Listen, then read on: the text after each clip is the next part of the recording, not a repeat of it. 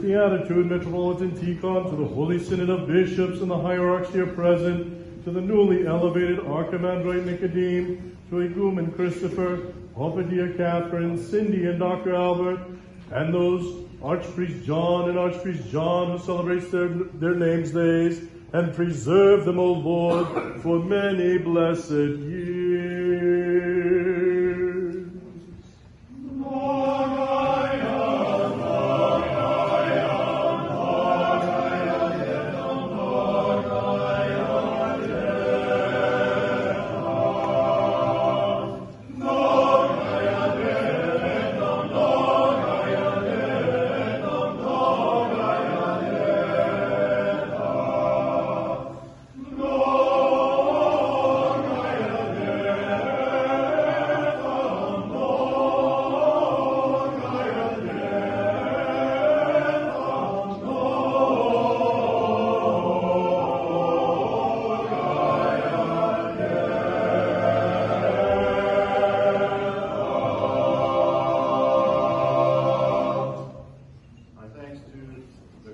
Choirs, both choirs, or two at least, maybe three choirs that sang today.